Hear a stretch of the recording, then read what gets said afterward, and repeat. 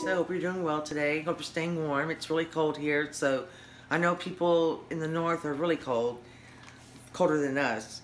But today I'm doing a video for Wonton Wednesday, the collaboration with Vickie's Country Home, Our Wandering Footprints, Diane the Canning Nana, myself, Tressa Stay at Home Life, and Coco Noelle. And today, well, I have lots of ideas, but today I think I'm gonna go with an apple pie wonton. Um, egg roll. I don't know if it's gonna be egg roll or wonton, but uh, anyway, I'll let you know. We'll get started, and I hope all my ingredients pretty much laid out. I'm gonna use. I just want to show you. This is the apples I'm gonna use. I'm gonna use two Granny Smith and one Honey Crisp because uh, that's all I have right now. And I'm going to use the juice of one lemon. So I'm going to peel these and chop them up finely. And then we'll go to the next. I peeled my apples. You want to have about three cups of apples. So it doesn't have to be exact. And uh, I'm going to cook these. But before, and I'm going to chop them up small, but before I do, I'm going to put the lemon juice on, and that will keep them uh, from turning brown. And I actually, I like the little bit of lemon tart that it gives. So I like to do this first. And that's, you know, if you don't like that much lemon, then just put like a tablespoon. So I'll do this and then I'm going to take them out and chop them up really fine. And then we're going to uh, add the rest of the ingredients. See, I chopped them up pretty small. Um, because I want them to fit well in the, uh, the uh, egg roll wrapper. And uh, I'm going to, I have a recipe but I got it from Yummly, but I'm going to uh, alter it a little bit because it calls for a fourth of a cup of granulated sugar, but I'm going to add uh, an eighth of a cup of granulated sugar, and then I'm going to add a little bit of brown sugar. I think it'll give it a, a little bit more flavor. Just a couple of tablespoons. Actually, I'm going to put like uh, one more. Four tablespoons of brown sugar. I think that's about an eighth of a cup. Okay, let me get this out of my way. I'm trying to hurry because uh, it's it's actually snowing a little bit outside and we might lose power. Now, I'm also going to use some of my homemade apple pie jam. And it has cinnamon in it already. Oh, and it smells so good. And you can see the consistency. I'm going to add some of this in here to then give it more flavor and help it bind together, I think. And it's got quite a, quite a bit of sugar in it already. Let me taste it. Oh, it's good. And I have a video on this apple pie jam, and it's really good. So since that has cinnamon in it already, I'm, I'm going to add just a pinch of cinnamon. I don't want too much. And then for the binder, we're going to add about two tablespoons of flour. You could add cornstarch. I'm going to add that. And of course, you know, I always have to add my vanilla extract. I'm going to add just a little bit. Not much. And a pinch of salt. And I saw some people add cardamom, uh, which I do not like cardamom at all. So I'm going to stir this together. And I still have that lemon in there to give it that tang. And I have uh, about three tablespoons of butter on the stove. I'm going to cook this just for a little while, just to soften the apples just a little and to get it to thicken up. And uh, I'll show you that process. Let me move you to the stove. Add these to my pot. And if it releases too much water and you have to add a little bit more flour, then it's okay. You know, you just kind of go with the thickness you like because you don't want it to be leaking all over your egg roll. And I decided that I think I'm going to, the recipe calls for frying them, but I think I'm going to bake a few just to compare the, the uh, difference. And I know it's healthier to bake them. And we can see when we do the taste test which one's better. Oh, and this is my bowl of uh, sugar and cinnamon. I'm going to coat these when they come out of the oil. But I also used a little bit of homemade vanilla sugar. See, I have a vanilla bean in here. It's delicious. I didn't add too much because uh, you don't want it to be too sweet. So let me cook these down for a few minutes and then we're gonna spread it on a pan. I may put it in the freezer just to cool it off quickly. And uh, I'll show you what they look like. I've been cooking the apples for about uh, seven minutes.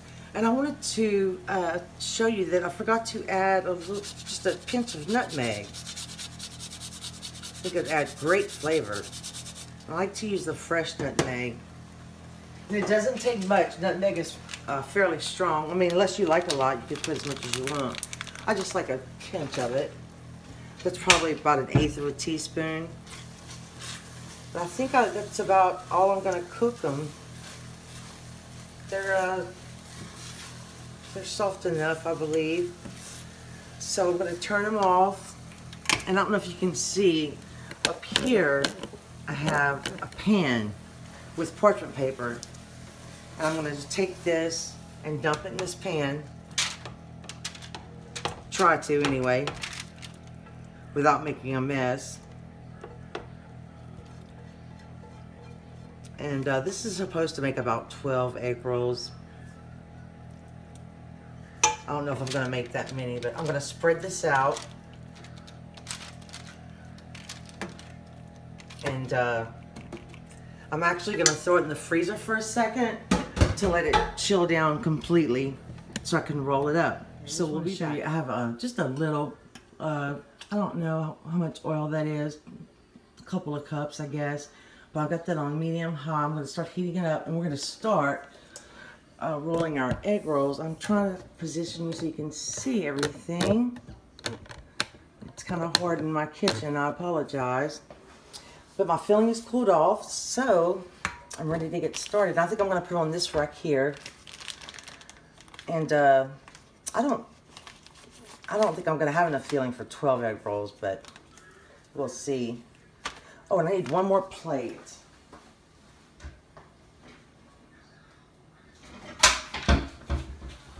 For my tongs.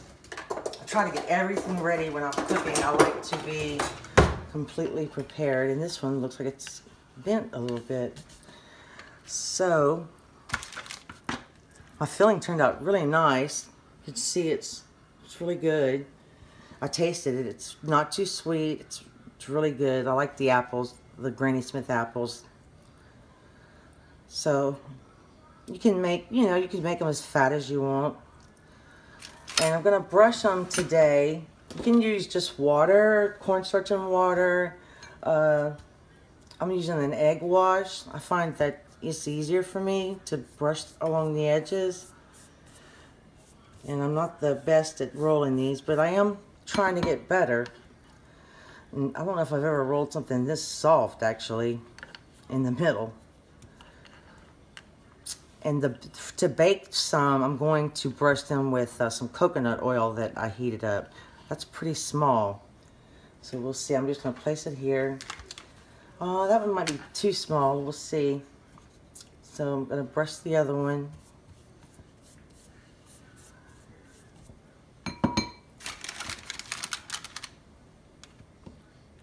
I'm going to put a little bit more filling in this one. Because we don't need a ton of these. That's, that's for sure. I'm sure you could make these and freeze them if you wanted to. Be a nice little snack. I find the egg works really well making them stick. Oh, I lost an apple. So that one turned out about the same. A little bit bigger, but... So I'll do one more. I don't want to bore you. Let's put that apple back in the center.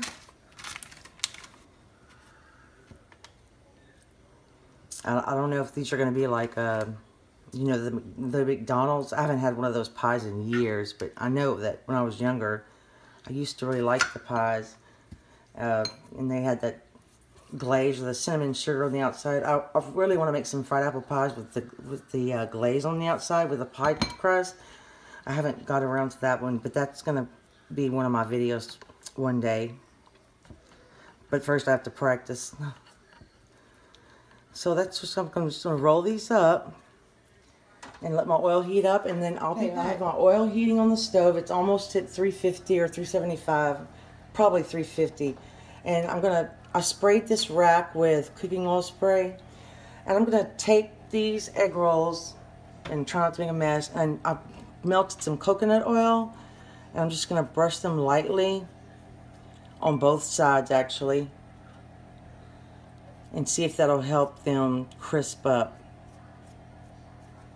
And I only made 10 egg rolls out of this recipe.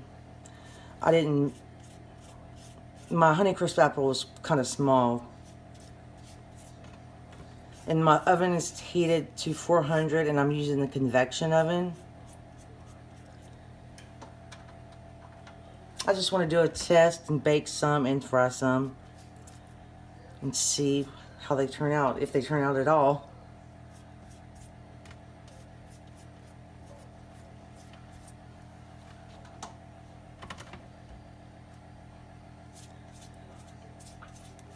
and I'm gonna I don't know how long I'm gonna bake them I'll let you know um, I'm just gonna bake them until they turn a little brown and uh, they hopefully crisp up and then I'll roll them in the cinnamon sugar so I think I'm gonna do one more I think I'm gonna just do half and half five baked and five fried and that one's leaking I don't know how well I did wrapping these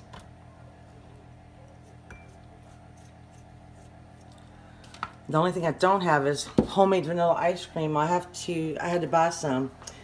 So let me put these in the oven and then I'll show you when I start okay, My oil is about 375. So I'm gonna go ahead and drop one in.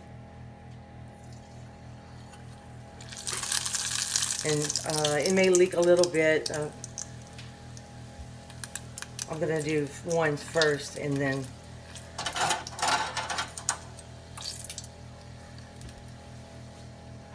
Excuse my arm. These don't take long to fry. That egg roll, I don't know if you watched that video, but the egg roll I made, the pork and beef egg rolls, those were excellent. So if you missed that video, please watch it because it's a really good recipe.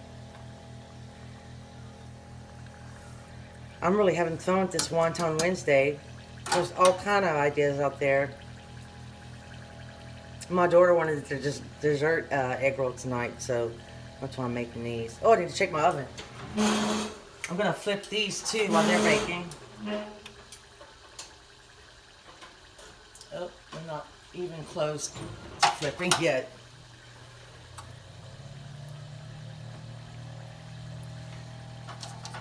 I'm trying to see my, this thermometer is not the best. It's hard for me to, yeah, it's about 375.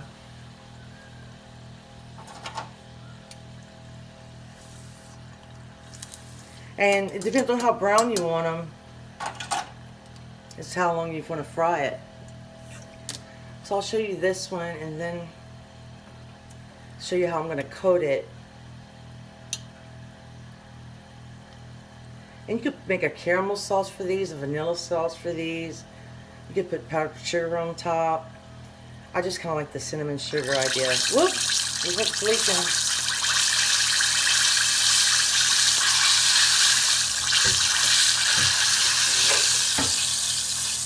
Should have worn my apron. So I'm to take this one out, let it drip just for a second. And then I'm going to drop it in the cinnamon and sugar. And I'm going to put a new one in. And then I'll be back and show you when I'm done. These are the fried ones dipped in the sugar, vanilla sugar and cinnamon. And these are the baked ones. Now, I might should have cut slits like you do in an apple pie, you know, to let the steam out. And uh, But they did crisp up. I'm going to dip these in cinnamon sugar and then we'll do a taste. the end result. The baked ones leaked a little bit, but they turned out pretty crispy and they are healthier.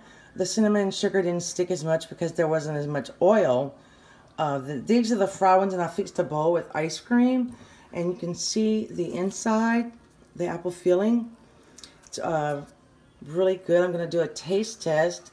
But I, need, I forgot the spoon. Sorry. I don't know, I might have to eat this with my hands. First one tastes the ice cream. And let me know below what your favorite ice cream is. I'll tell you mine later. But it is vanilla. So I'm just going to eat it with my hands, take a bite, and dip it in the ice cream.